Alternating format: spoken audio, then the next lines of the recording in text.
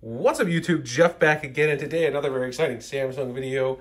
Today I'm going to show you guys how to get this uh, cool little arrow on your lock screen which actually does something pretty useful. A lot of people have been asking me about this. They've seen it on my phone when I do videos and I'm going to show you guys what it does and how to enable it today.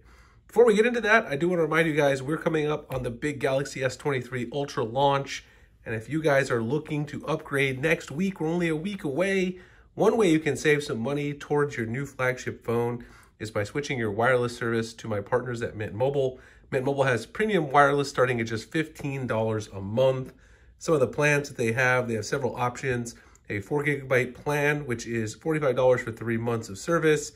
The 10 gigabyte plan, $60 for three months of service. 15 gigs, $75 for three months. And I think the best value is the unlimited plan, which is $90 for three months of service. All their plans come with unlimited talk and text, nationwide coverage, and also mobile hotspot included as well. It's very, very simple to switch. You can either get an eSIM, which I think is a pretty nice option, or if you want to go old school, they'll send you out a physical SIM kit and a SIM tool. You pop out your old SIM, you pop in the Mint SIM, and you're on your way to some great savings. Uh, I've had great service here in the Phoenix, Arizona area. I've been using the unlimited plan for about four months. I know a lot of you guys have tried it, but if you haven't tried it yet, I highly recommend giving it a shot in your primary device or your secondary device just to give it a test drive and see how it goes.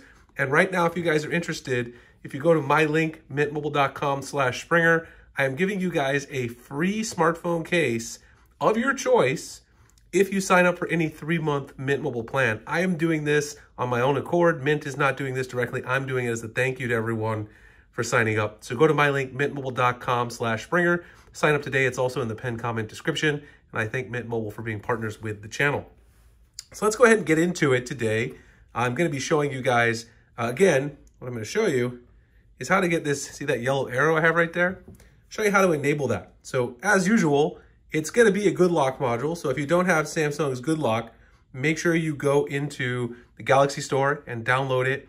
If you don't have good lock available in your region, they have expanded it to a lot more regions lately, but if you don't have it, you can also download the APK and install over VPN, or you can also use NiceLock and FineLock, which are some launchers that allow you to launch these applications on your Galaxy phone. So once you're in there, you're going to go to the Life Up side of Good Lock. It's split into two parts. Basically, Life Up are things that make your life easier when using your Galaxy phone.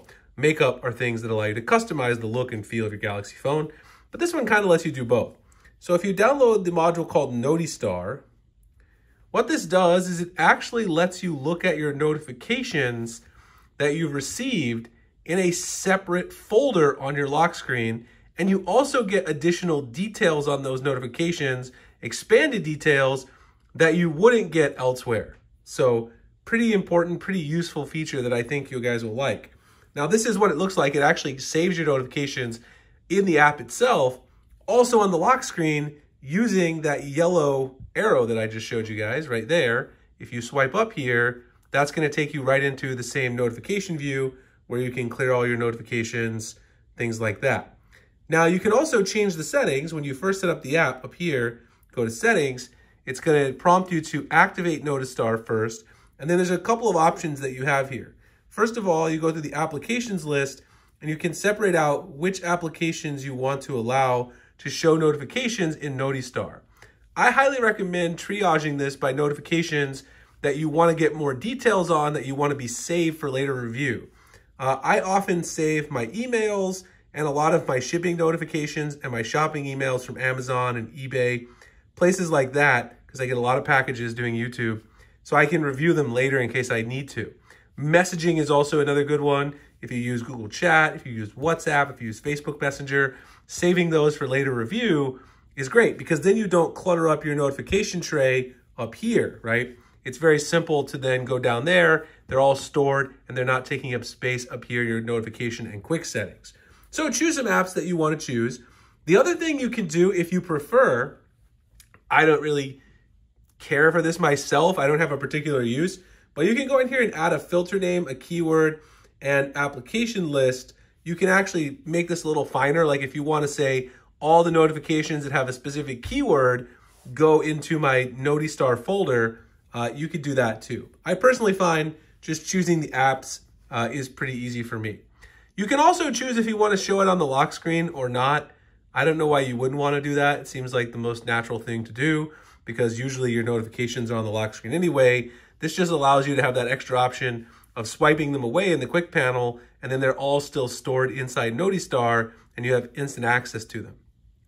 The other thing is you can choose to store your notifications, right, for a set period of time. And the really awesome thing about this is you can choose it for seven days, 30 days, six months, or a year, um, or no limit at all.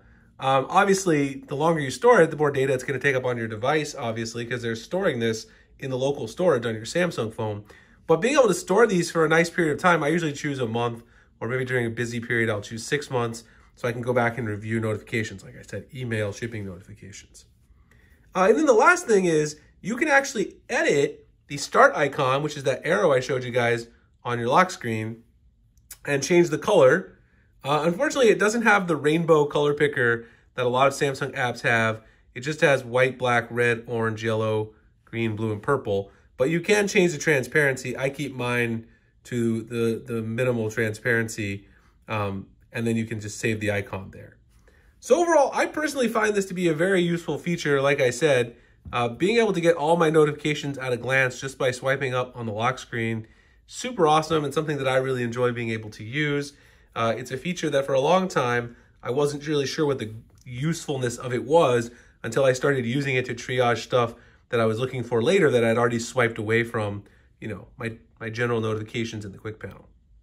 Anyway, I hope you guys enjoyed the video. If you did, like, comment, subscribe, hit that notification video. Future videos like this. You guys are also going to get lots of Galaxy S23 and S23 Ultra content coming up soon. Again, if you guys are interested in switching to my partners at Mint Mobile, get premium wireless starting at $15 a month and a free phone case sent from me, not Mint, but from me as a thank you gift you can go to mintmobile.com slash Springer, sign up for a three-month plan today, get in touch with me on Twitter via DM or on my email, which is on my YouTube page, and I'll get you guys out of case.